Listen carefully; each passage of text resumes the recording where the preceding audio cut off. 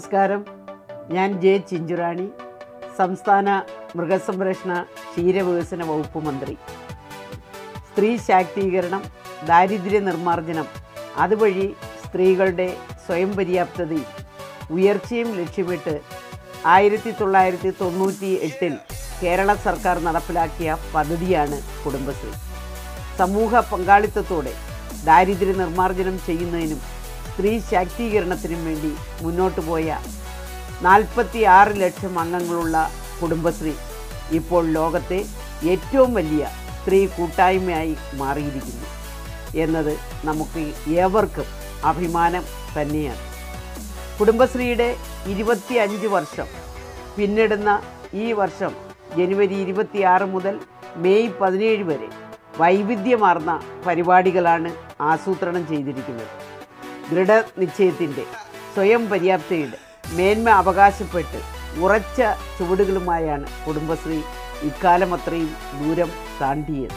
കുടുംബശ്രീ അംഗങ്ങളുടെ അറിവും അനുഭവവും പങ്കുവയ്ക്കൽ കലാപരിപാടികൾ മത്സരങ്ങൾ ക്യാമ്പയിനുകൾ എന്നീ വൈവിധ്യമാർന്ന പരിപാടികളോടുകൂടി ഇനിയും മുന്നോട്ട് പോകുന്നതിനുള്ള പുതിയ ചുവടുകൾ ആസൂത്രണം ചെയ്യുന്നതിന് വേണ്ടി ഈ വരുന്ന ജനുവരി ഇരുപത്തിയാറിന് അയൽക്കൂട്ട സംഗമം ചുവട് രണ്ടായിരത്തി ഇരുപത്തി മൂന്ന് എന്ന പേരിൽ നടത്തപ്പെടുകയാണ്. എല്ലാവരും ഈ ചുവടുവയ്പിൽ പങ്കാളികളാകണം. ഒപ്പം ചുവട് രണ്ടായിരത്തി ഇരുപത്തി മൂന്നിനും ഇതിൽ പങ്കാളികളാകുന്ന കുടുംബശ്രീ അംഗങ്ങൾക്കും സി ഡി എസിനും എന്റെ എല്ലാവിധ ആശംസകളും നേരുന്നു. നന്ദി നമസ്കാരം. എല്ലാവർക്കും നമസ്കാരം. കേരളത്തിലെ എല്ലാ കുടുംബശ്രീ അയൽക്കൂട്ട അംഗങ്ങൾക്കും പ്രത്യേകിച്ച് എന്റെ പഞ്ചായത്തായ കൂവൂരിലെ കുടുംബശ്രീ അംഗങ്ങൾക്കും വരാൻ പോകുന്ന കുടുംബശ്രീ അയൽക്കൂട്ട സംഘവുമായ ചൂട് ട്വന്റി ട്വന്റി ത്രീക്ക് എല്ലാവിധ ആശംസകളും എല്ലാം നമ്മളായി എല്ലാവർക്കും നമസ്കാരം. കേരളത്തിന്റെ മുഖശ്രീയായ കുടുംബശ്രീ. കുടുംബശ്രീയുടെ ഇരുപത്തി അഞ്ചാമത് വാർഷികം ചുവട് രണ്ടായിരത്തി ഇരുപത്തി മൂന്ന് എന്ന പേരിൽ ജനുവരി ഇരുപത്തി ആറാം തീയതി കേരളത്തിലെ എല്ലാ ഗ്രാമപഞ്ചായത്തുകളിലും വളരെ വിപുലമായി സംഘടിപ്പിക്കുകയാണ്.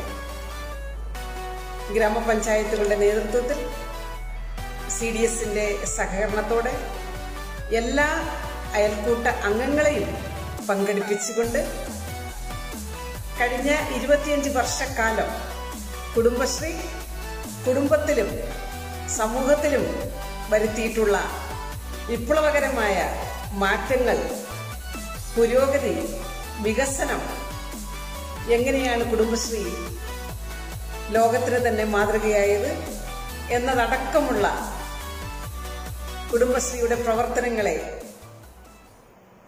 വിലയിരുത്തുകയും ചർച്ച ചെയ്യപ്പെടുകയും ചെയ്യുന്ന ചുവട് രണ്ടായിരത്തി ഇരുപത്തി മൂന്നിന് എല്ലാവിധ ആശംസകളും നേരുന്നു.